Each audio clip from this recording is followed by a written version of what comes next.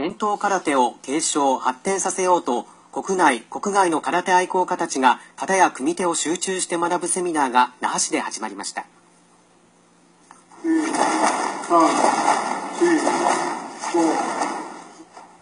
このセミナーは沖縄伝統空手の継承発展を目的に県と沖縄伝統空手道振興会が去年から開いているもので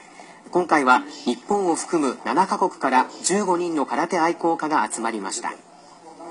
I am here to train with Shinzo Sensei. I like to learn kata and uh, kumite. 空手はいつまでも初心者って感じますからあのいつも面白いで自分あのなんていうの自分でいつも挑戦したいと思ってますから、うん、武道は、うんまあ、一生の挑戦じゃないですかと思ってます。